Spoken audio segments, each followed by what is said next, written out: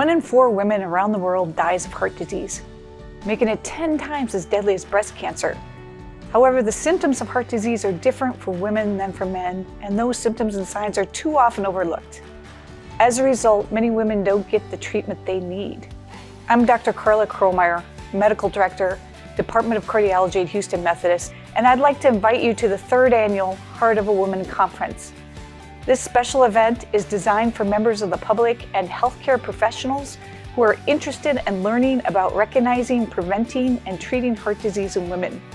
Women's heart health experts will cover important topics, including how heart disease affects women, how it is detected and diagnosed, medication options, and lifestyle strategies to prevent this deadly disease.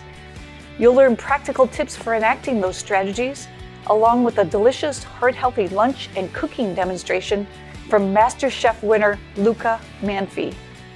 In the afternoon, we invite you to customize your experience by choosing small group breakout sessions.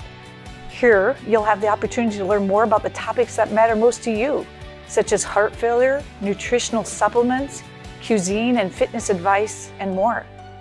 Join us on Saturday, February 11th, 2023, at the Houston Methodist Research Institute for this exciting educational experience.